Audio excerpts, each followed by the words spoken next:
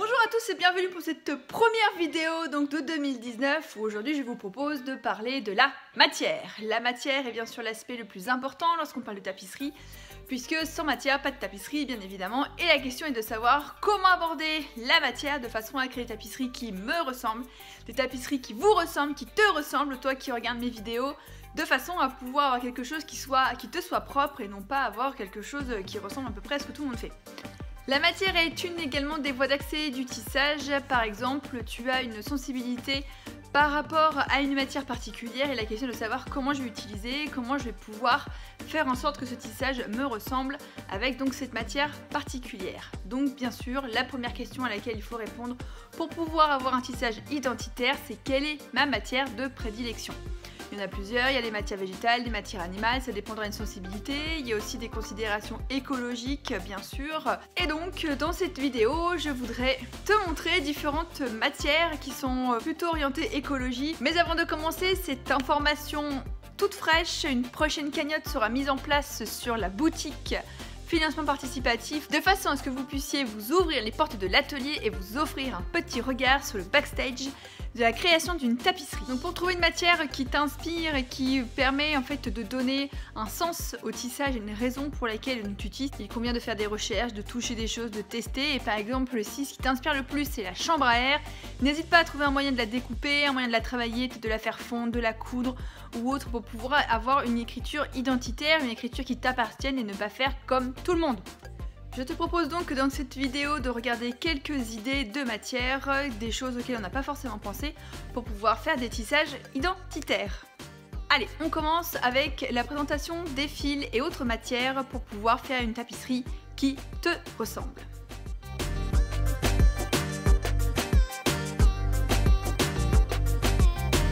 Parmi les matières qui sont disponibles sur le marché, il y a bien sûr les fils bruts tels qu'on les connaît, il y a aussi et surtout les matières recyclées et recyclables à laquelle on ne pense pas forcément. Par exemple, les matières de récupération, moi j'aime beaucoup beaucoup à utiliser dans mes propres tapisseries.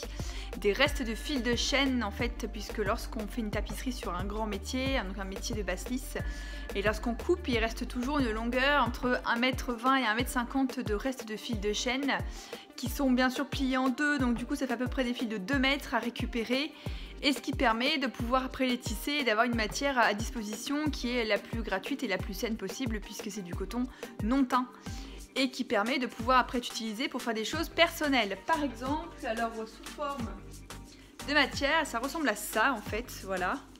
C'est des fils de chaîne, on voit que c'est coupé à la base et en fait en haut il y a des boucles puisqu'il y a une barre de fer qui passe en haut là pour pouvoir tenir tout le monde. Donc lorsqu'on coupe, voilà, on récupère cette grande, cette grande cette grande tresse, cette grande, voilà, cette grande quantité de fil qui est largement utilisable et tissable. Moi, ça fait partie des choses que j'aime beaucoup utiliser.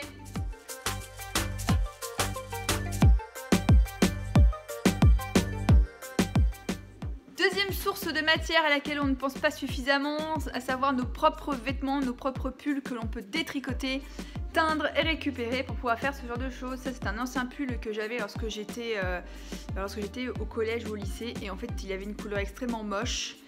Du coup, euh, je l'ai détricoté et j'ai récupéré toutes les matières, toutes les bobines pour pouvoir en faire un fil que j'étais en noir pour après les tisser. Donc c'est très expérimental puisqu'en fait le pull n'était pas euh, à, à, rayures. Et du coup, donc en fait, comme j'étais en noir dessus, il y a différentes couleurs. En fait, ça fait un peu gris, différentes matières puisque le fil n'était pas forcément de couleur unie.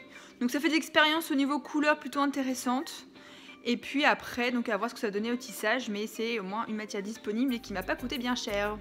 Dans le recyclage également, il y a des types de tissus comme par exemple les restes de sari qui viennent d'Inde, puisque ça ce sont des restes de vêtements euh, d'indiennes et d'indiens qui sont après découpés en, en bandes. donc c'est très intéressant puisque ça donne à la fois un tissu et puis plein de restes de petits fils comme ça qui ont un côté un peu brut.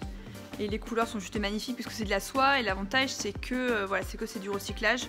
Donc du coup niveau écologie euh, c'est un peu plus vertueux que si on achetait du tissu pour le découper. Dernier matériau à tisser auquel on, ne pense pas suffisamment, à savoir le tissu lui-même. Par exemple des choses très intéressantes comme ça, ça c'est du tissu sur lequel il y a des essais de shibori qui ont été faits. Donc c'est assez intéressant et ce sont aussi des choses qui peuvent être intégrées dans le tissage en fait. Alors euh, soit on les met directement comme ça, soit on les fait pendre Donc en fait, il y a plein de manières de pouvoir... Voilà, là, il y a d'autres couleurs ce petit morceau de tissu, là. Hop. Donc il y a plein de manières de pouvoir intégrer en fait la matière dans le tissage, dans le tissu, ce sont des choses sur lesquelles je reviendrai. En ce qui concerne les expérimentations de tissage et les matières à intégrer, j'y reviendrai, ce sera certainement l'objet d'une autre vidéo puisque j'ai envie de créer un tissage avec ces jolies fleurs et ce superbe chapelet, pouvoir intégrer des choses hors du commun et essayer de voir comment ça marche, comment ça peut tenir et surtout vous montrer le travail liminaire à entreprendre avant puisque je ne peux pas commencer directement à, à travailler sur mon tissage sans avoir réfléchi avant comment je vais m'y prendre et surtout à quoi ça va ressembler puisque le tissage est avant tout une question d'anticipation. Si toi aussi tu es en galère avec ton tissage et que tu as besoin d'aide, n'hésite pas à remplir ce petit formulaire qu'il y a dans la description de façon à ce que je puisse te recontacter. Je vais sélectionner dans le mois 5 personnes à qui je ferai gratuitement une heure de coaching. N'hésite pas à remplir si tu as besoin d'aide. En attendant, j'espère que cette vidéo t'aura permis de regarder les matières autour de toi avec un autre œil de façon à pouvoir mettre ton cœur et ton âme dans ton tissage de tapisserie. Je te retrouve tout bientôt pour une prochaine vidéo concernant la question de la création ou de l'interprétation. Bonne année et à très bientôt